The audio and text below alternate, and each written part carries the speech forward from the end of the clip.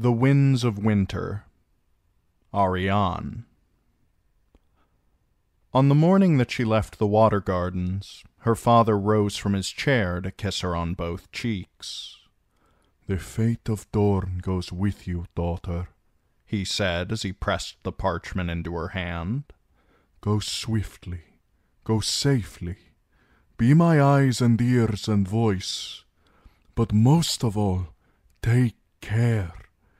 I will, father. She did not shed a tear. Arianne Martell was a princess of Dorne, and Dornishmen did not waste water lightly. It was a near thing, though. It was not her father's kisses nor his hoarse words that made her eyes glisten, but the effort that brought him to his feet, his legs trembling under him, his joints swollen and inflamed with gout. Standing was an act of love. Standing was an act of faith. He believes in me. I will not fail him. Seven of them set out together on seven Dornish sand steeds. A small party travels more swiftly than a large one, but the heir to Dorne does not ride alone. From Godsgrace came Sir Daemon Sand, the bastard, once Prince Oberyn's squire, now Arianne's sworn shield. From Sunspear two bold young knights, Joss Hood and Garibald Shells, to lend their swords to his. From the Water Gardens seven ravens and a tall young lad to tend them.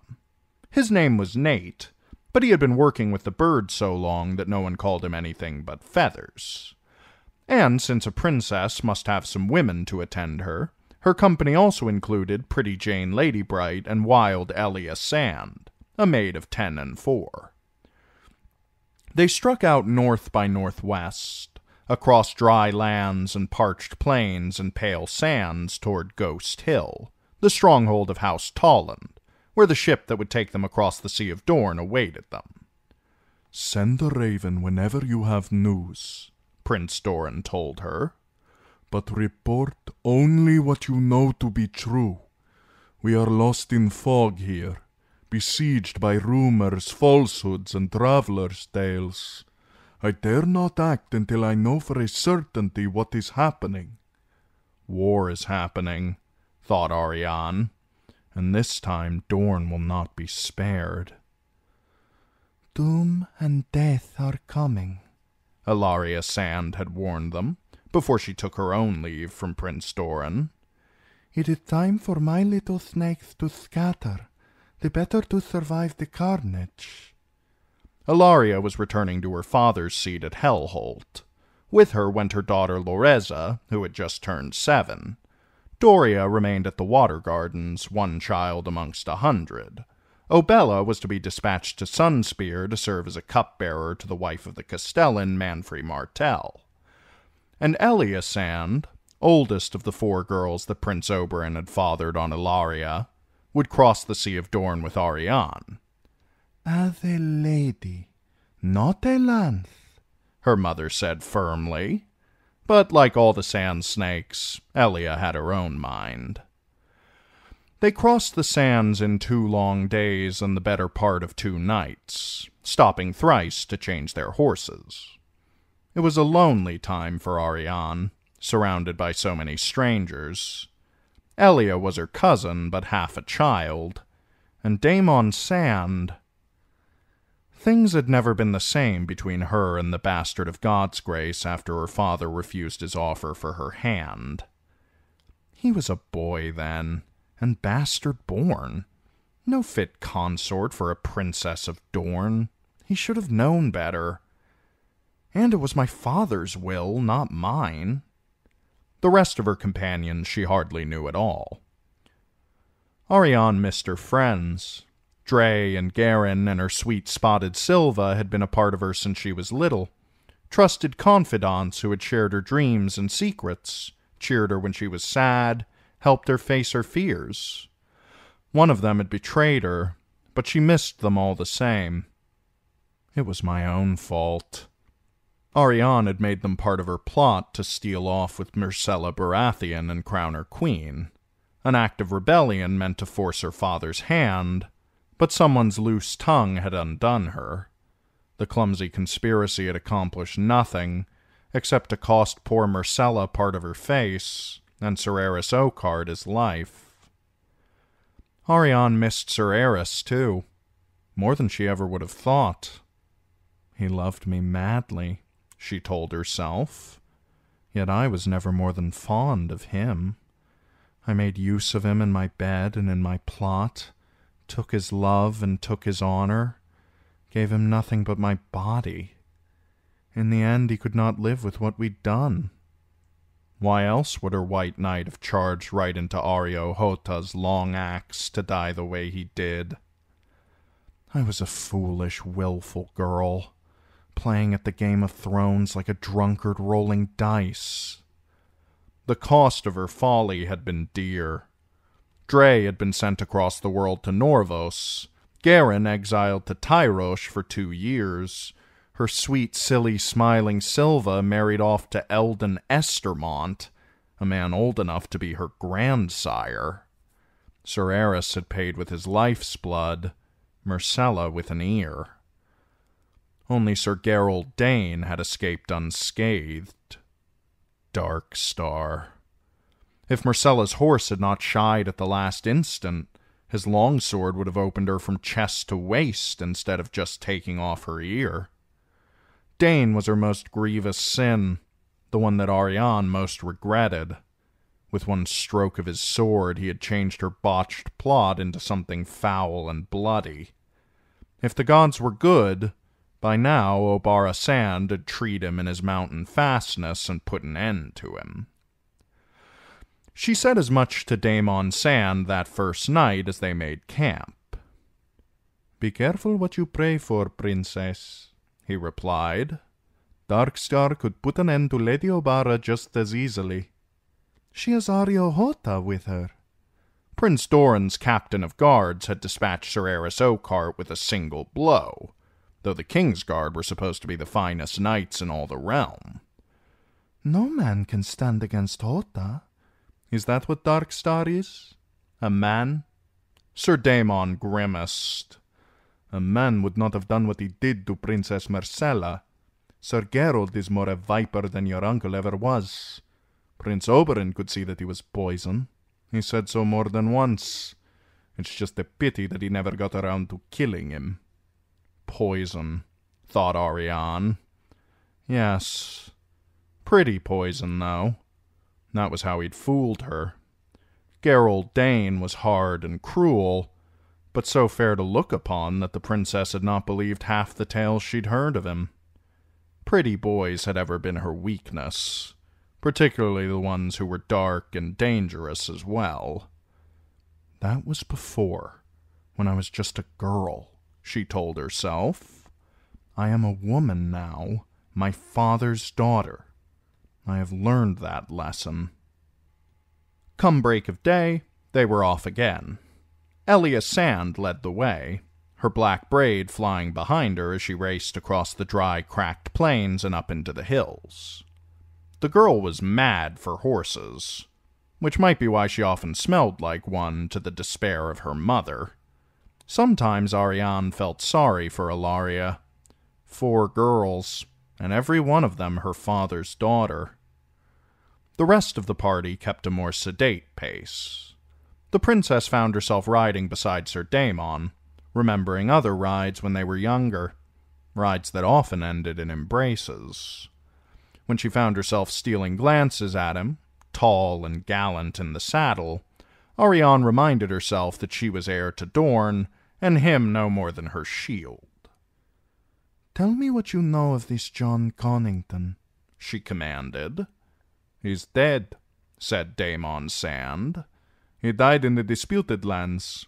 Of drink, I've heard it said. So a dead drunk leads this army? Perhaps this Jon Connington is a son of that one, or just some clever sellsword who has taken on a dead man's name. Or he never died at all. Could Connington have been pretending to be dead for all these years? That would require patience worthy of her father. The thought made Arianne uneasy. Treating with a man that subtle could be perilous. What was he like before he. Before he died. I was a boy at Godsgrace when he was sent into exile. I never knew the man. Then tell me what you've heard of him from others. As my princess commands. Connington was lord of Griffin's Roost when Griffin's Roost was still a lordship worth the having. Prince Rhaegar's squire, or one of them. Later Prince Rhaegar's friend and companion. The Mad King named him Hand during Robert's rebellion, but he was defeated at Stoney Sept in the Battle of the Bells, and Robert slipped away. King Aerys was wroth, and sent Connington into exile. There he died. Or not. Prince Doran had told her all of that. There must be more. Those are just the things he did. I know all that. What sort of man was he? Honest and honorable? Venal and grasping? Proud? Proud, for a certainty. Even arrogant. A faithful friend to Rhaegar, but prickly with others. Robert was his liege, but I've heard it said that Connington chafed at serving such a lord. Even then, Robert was known to be fond of wine and whores. No whores for Lord Jon, then? I could not say. Some men keep their whoring secret. Did he have a wife? A paramour? Sir Daemon shrugged.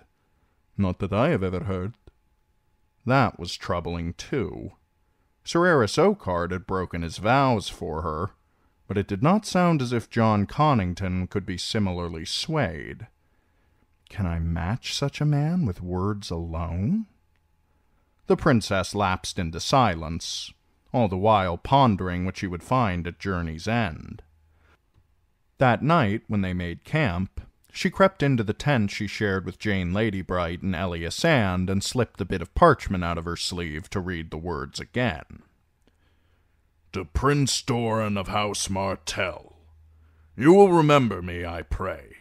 I knew your sister well, and was a leal servant of your good brother. I grieve for them as you do. I did not die, no more than did your sister's son. To save his life, we kept him hidden, but the time for hiding is done. A dragon has returned to Westeros to claim his birthright and seek vengeance for his father and for the Princess Elia, his mother. In her name I turn to Dorne. Do not forsake us. Jon Connington, Lord of Griffin's Roost, Hand of the True King. Arianne read the letter thrice, then rolled it up and tucked it back into her sleeve. A dragon has returned to Westeros, but not the dragon my father was expecting. Nowhere in the words was there a mention of Daenerys Stormborn, nor of Prince Quentyn, her brother, who had been sent to seek the Dragon Queen.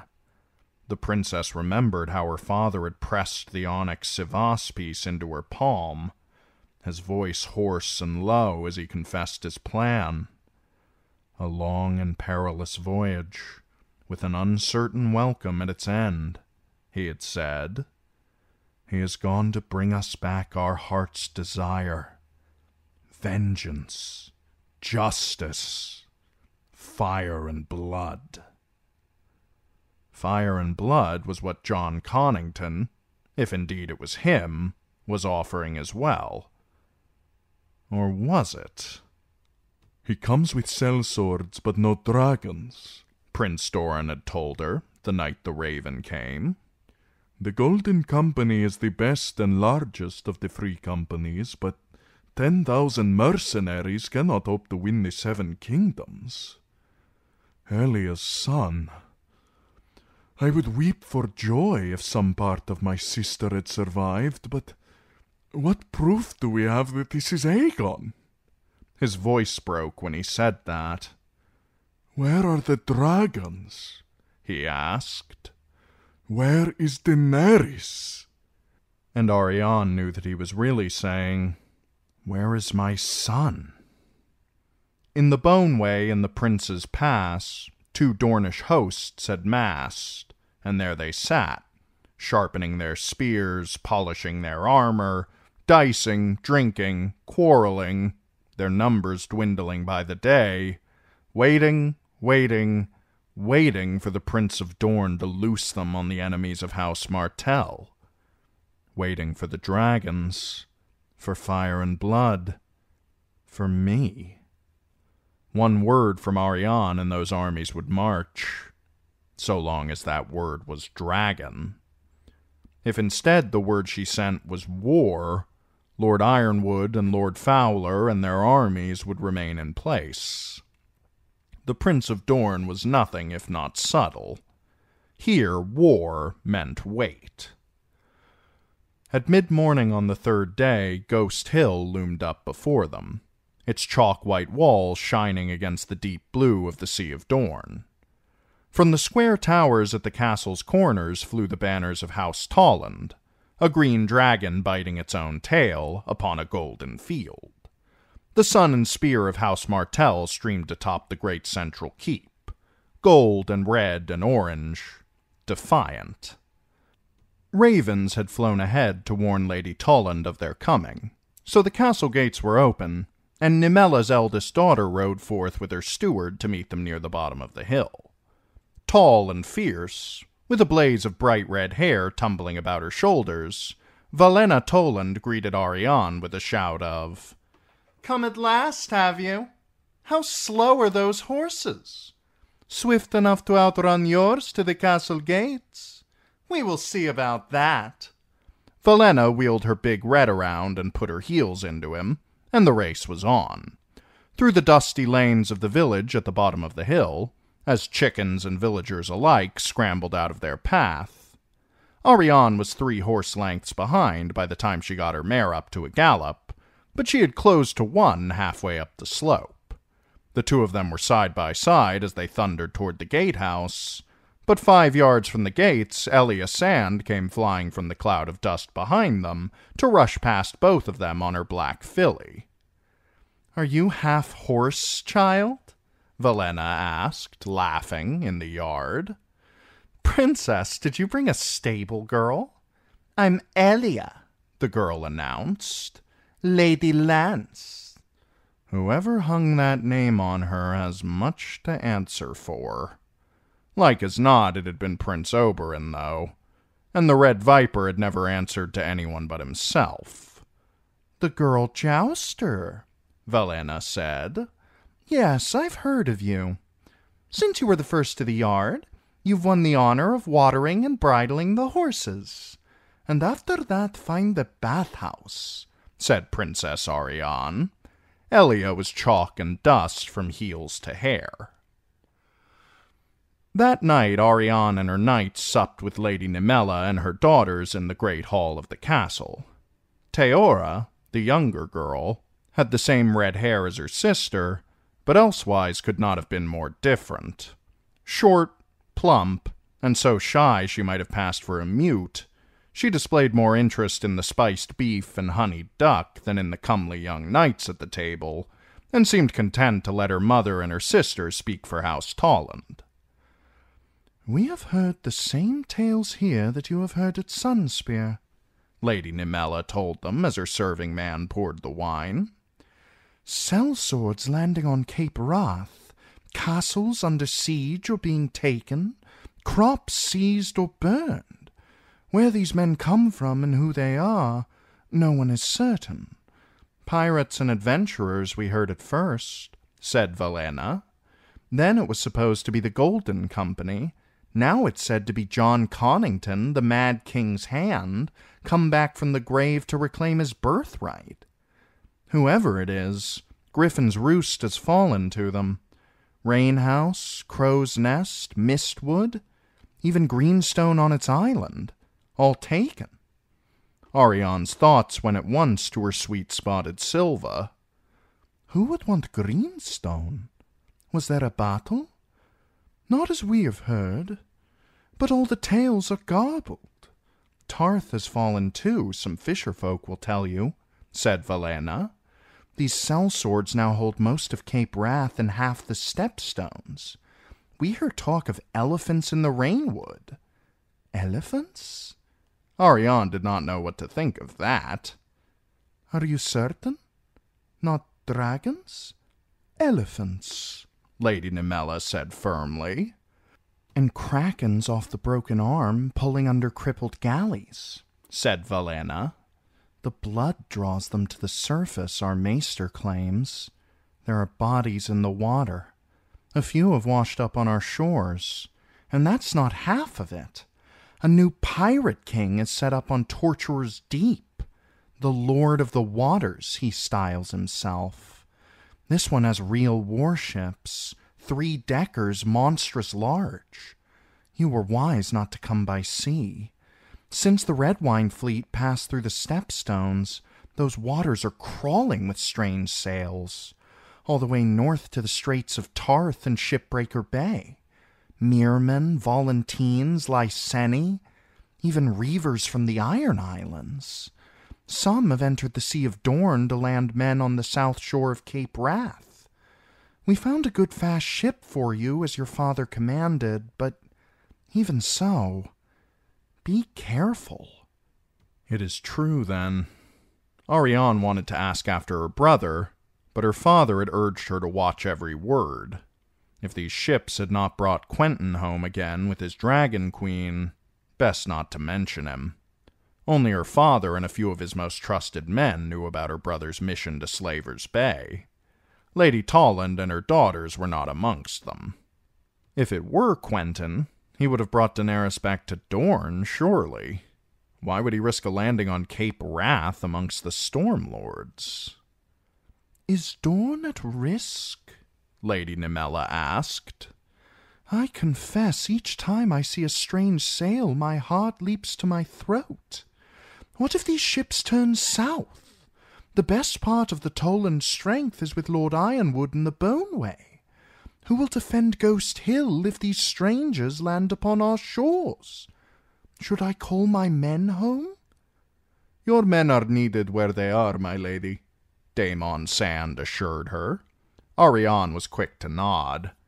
Any other counsel could well lead to Lord Ironwood's host unraveling like an old tapestry, as each man rushed home to defend his own lands against supposed enemies who might or might not ever come. Once we know beyond a doubt whether these be friends or foes, my father will know what to do, the princess said. It was then that pasty, pudgy Teora raised her eyes from the cream cakes on her plate. It is dragons, dragons, said her mother. Teora, don't be mad. I'm not. They're coming. How could you possibly know that?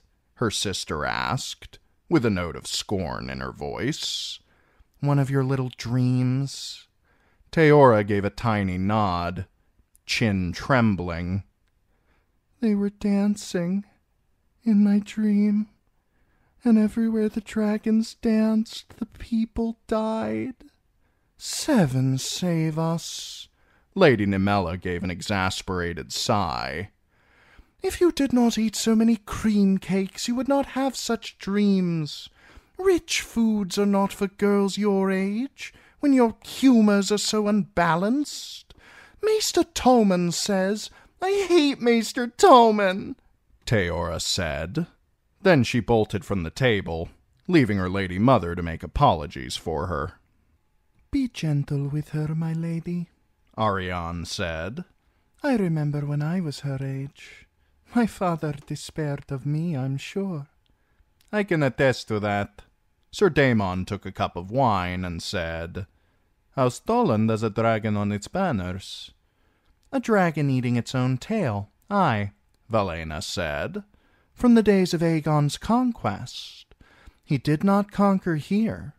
Elsewhere he burned his foes, him and his sisters, but here we melted away before them, leaving only stone and sand for them to burn. And round and round the dragons went, snapping at their tails for want of any other food till they were tied in knots. Ah, Our forebears played their part in that, Lady Nymella said proudly. Bold deeds were done and brave men died. All of it was written down by the maesters who served us. We have books, if my princess would like to know more. Some other time, perhaps, said Arianne.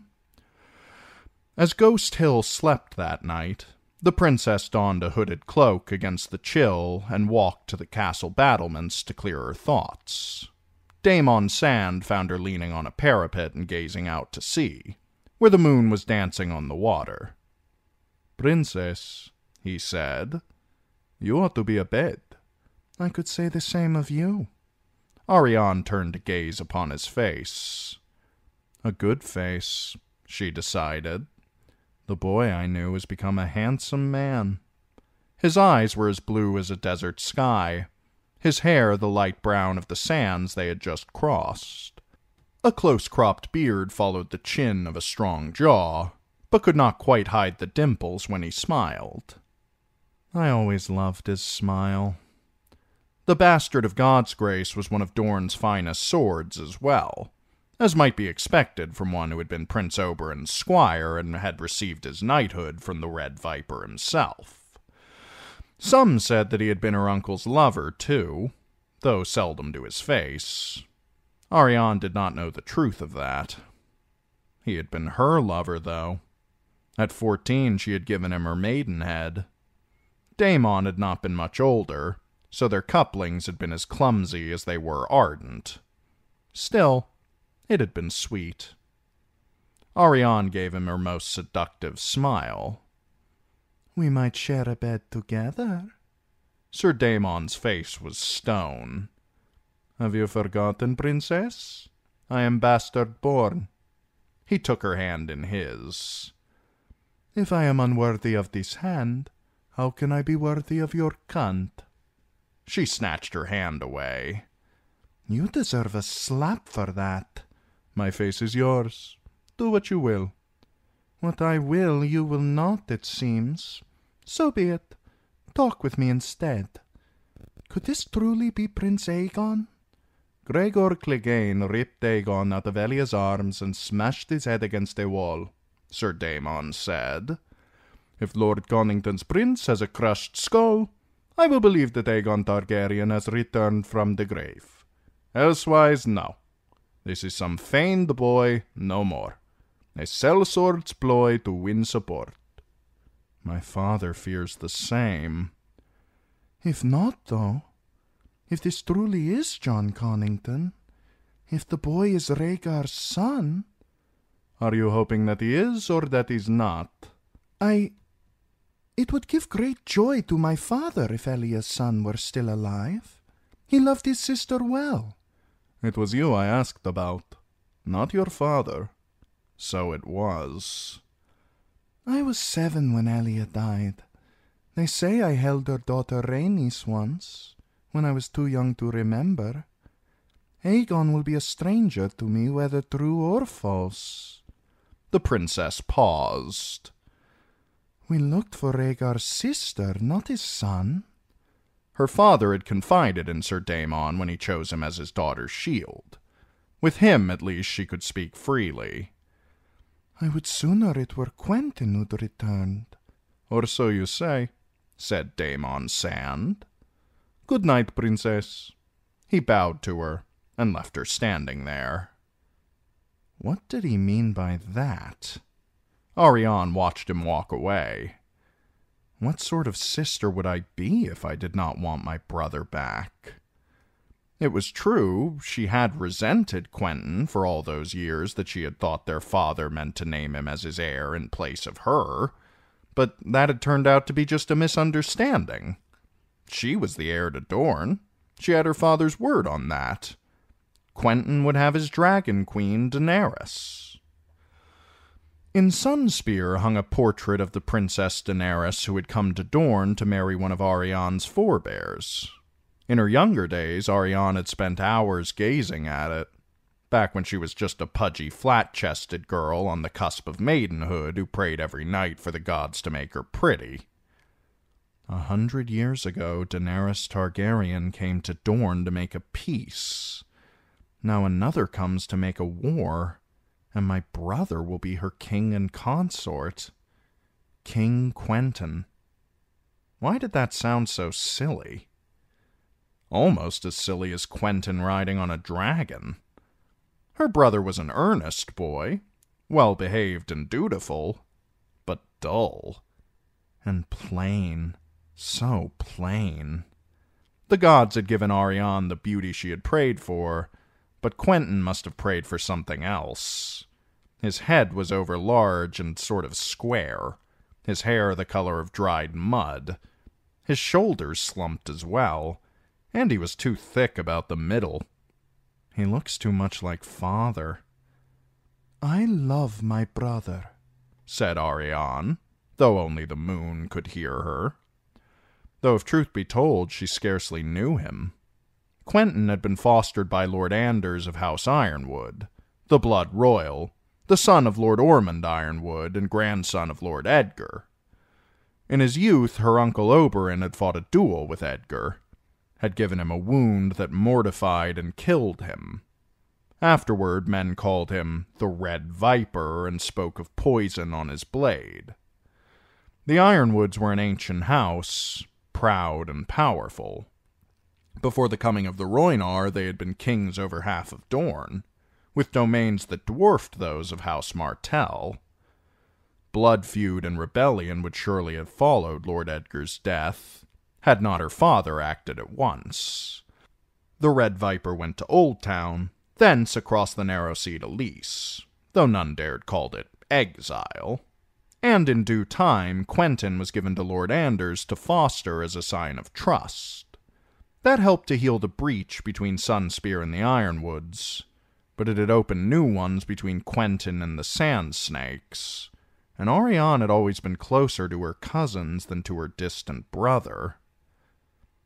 We are still the same blood, though, she whispered. Of course I want my brother home. I do. The wind off the sea was raising goose prickles all up and down her arms. Arianne pulled her cloak about herself and went off to seek her bed. Their ship was called the Peregrine. They sailed upon the morning tide. The gods were good to them, the sea calm. Even with good winds, the crossing took a day and a night. Jayne Ladybright grew greensick and spent most of the voyage spewing, which Elia Sand seemed to find hilarious. Someone needs to spank that child, Joss Hood was heard to say, but Elia was amongst those who heard him say it. I am almost a woman grown, sir, she responded haughtily. I'll let you spank me, though. But first you'll need to tilt with me and knock me off my horse. We are on a ship, and without horses, Joss replied.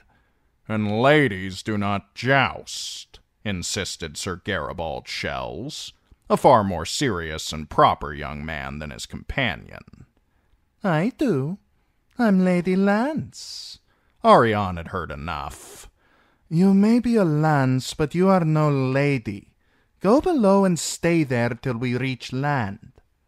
Elsewise, the crossing was uneventful. At dusk, they spied a galley in the distance, her oars rising and falling against the evening stars, but she was moving away from them, and soon dwindled and was gone. Arianne played a game of Cyvasse with Sir Daemon, and another with Garibald Shells, and somehow managed to lose both. Sir Garibald was kind enough to say that she had played a gallant game, but Daemon mocked her. You have other pieces beside the dragon, princess. Try moving them sometime. I like the dragon. She wanted to slap the smile off his face. Or kiss it off, perhaps. The man was as smug as he was comely. Of all the knights in Dorne, why did my father choose this one to be my shield? He knows our history. It is just a game.